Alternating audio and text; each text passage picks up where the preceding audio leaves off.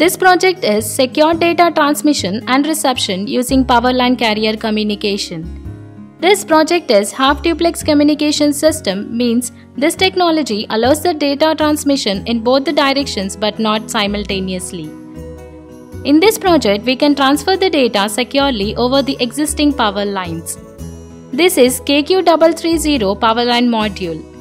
It works with frequency shift keying modulation technique. We have two LCD displays here. One is to display the transmitting data and the other is to display the receiving data.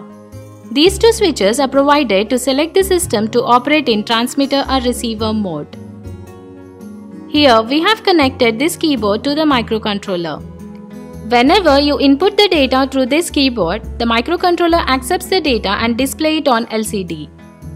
The same data is modulated by frequency shift keying technique by this power line carrier module. Now this FSK modulated data signal transmitted over this power line. This is KQ330 module receives the signal and demodulates. This demodulated signal is read by the microcontroller and displayed on this LCD.